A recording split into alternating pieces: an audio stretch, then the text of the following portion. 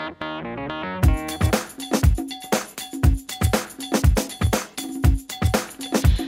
everybody, this is Bonnie and I'm going to show you how I did this card. It's been very hot here the last couple of days. It's been so hot in my um, craft room working over the big lights so I haven't really been doing a whole lot card making wise. But it's about 11 o'clock here, almost 12 and it's kind of cooler right now so I thought well I'm gonna do a quick card and um, get it ready for you guys for tomorrow so let's get started first to do is we're gonna take a piece of scrap whisper white and we're taking the stamp is from the new stamp sets and Stampin' Up! catalogs for the birds and I'm going to use this one right here.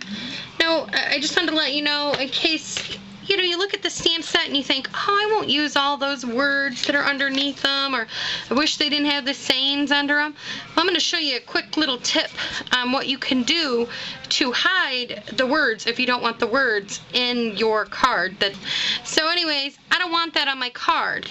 So I am going to just take a post-it note and I'm going to cover it up. Then I'm going to take my StazOn ink and I'm going to go right over the stamp. I'm still getting everything covered with the stamp, but I'm not covering getting those words and I am not going to worry about having to have, when I clear that off, the words are, I will not have nothing on there. So when I go to stamp, there's no words. Isn't that pretty cool? So there's a quick little tip in case you guys didn't know. Now I'm going to take the wide oval and I'm going to put it in and I'm going to put it so that the bottom of this grass right here is all the way down on the bottom of this oval.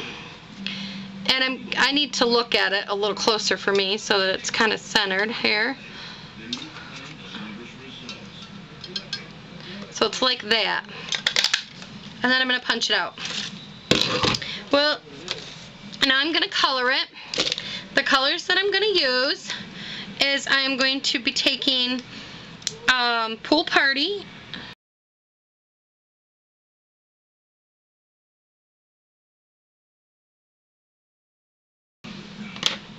Then I'm going to take um, Melon Mambo.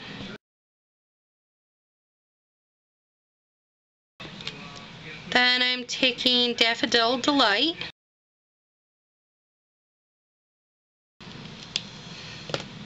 Um, forgot my Melon Mambo over here.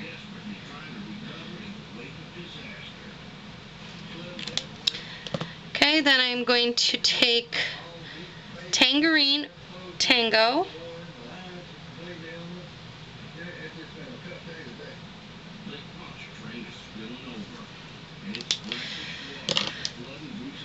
Then Lucky Lime. Wrong end.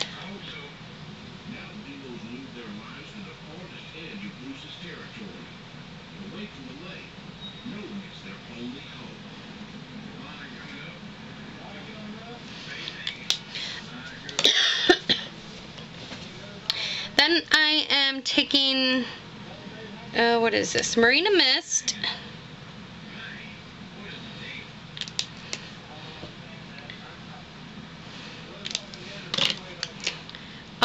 Um, Pacific Point.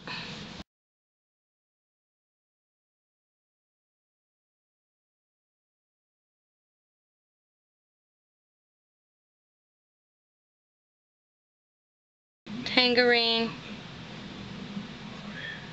for the beak. Then I took um, a gel pen and I kind of just blended the colors so it makes it like a really soft blue right there in the belly. Okay, so while that's drying, I'll show you the rest of the card. We're going to take a standard 8.5 by uh, 5.5 scored at 4 and a quarter. Then we're taking a piece of designer series paper. This is a retired piece of paper. It was in the celebration set. And this piece is four inches by five and a quarter. I'm going to use the retired ticket punch and punch out the corners. I haven't ordered the new ticket punch they have, so I don't know if the new one would be able to do that because it's an actual ticket. It might, I don't know, I haven't tried it. I'm going to adhere this down.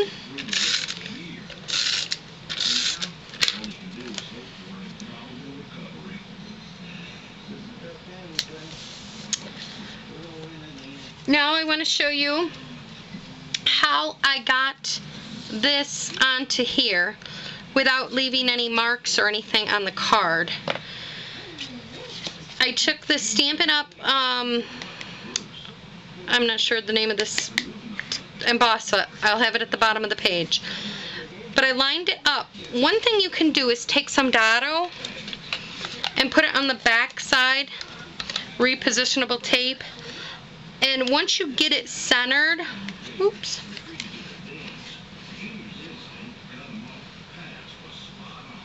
once you get it centered, you can push down and now it won't move on you when you're putting it through.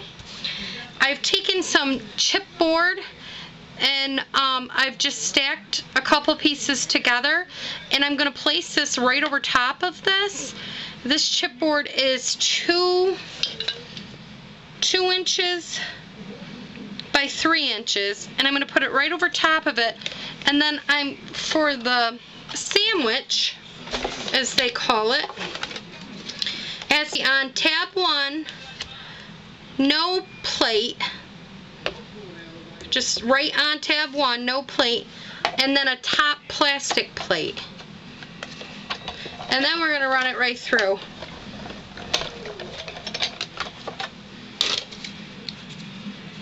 And then you have it, just like that. This works awesome if you have a bigger card.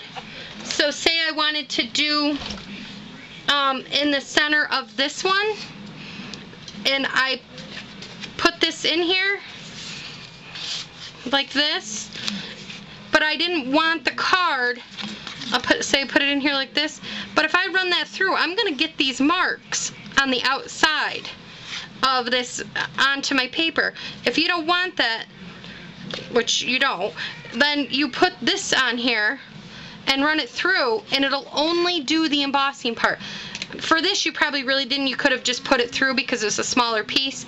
But I wanted to show you what you could do if you wanted to do it on a bigger piece.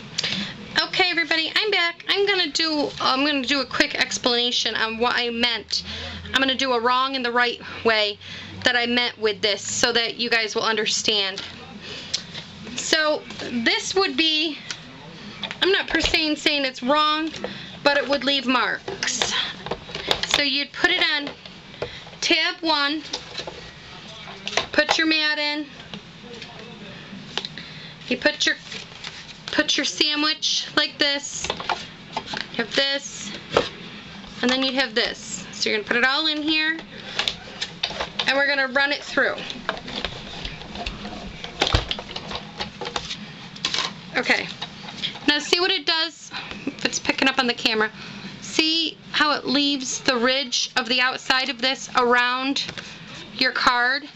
Well, I don't like that, so I don't want that in my card. So what I've done, and what I've learned from other people, I'm not sure, you know, you guys might have seen this already. If you have, then you know what I'm talking about. So what I'm going to do is I'm going to take, and I'm going to put this in there, I'm placing it on tab 1 with no plastic, just on tab 1.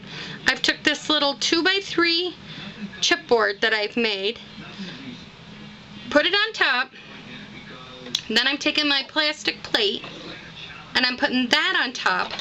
Now I'm going to run it through.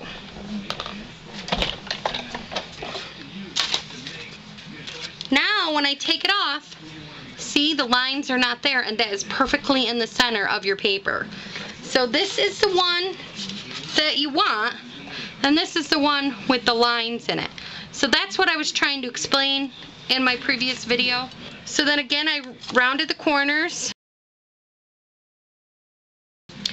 And then I'm going to take and put, this will fit perfectly right inside there, our little bird painting. So we'll put him right inside. And we're going to set him aside for a minute. And we're going to get out our Stamp-A-Majig. And I want to stamp my, emboss my hello friend here. So I think that looks good right there. I've already stamped it on there. The hello my friend comes out of the my friend stamp set, the hello. So now I'm going to take and I'm going to move this out of the way. I'm going to take some Versamark, stamp it all over my stamp. Put the corner of this in the corner. Stamp down. Take my coffee filter.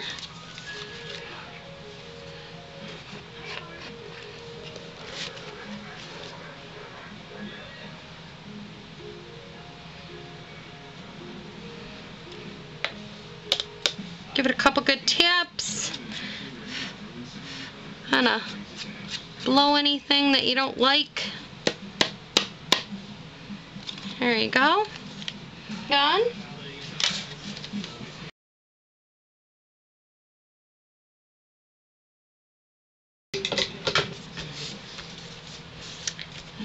Now I'm going to take some pop or Stampin' Dimensionals and I'm going to put them in the back. I'm going to rub off this repositionable tape before I forget. It's right about here. Now I had a ribbon. On the last one I didn't put a ribbon because my hello was up a little high. But on this one I am going to put a ribbon across there. So I'm just going to take and put some adhesive across there. Run it right across, get my scissors.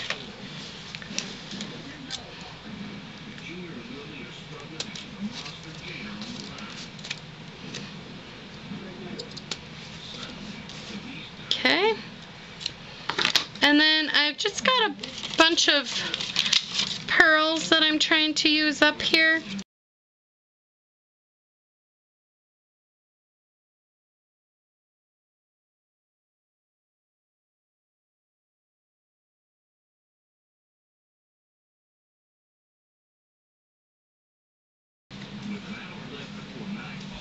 There you go, everybody. Thanks for stopping by.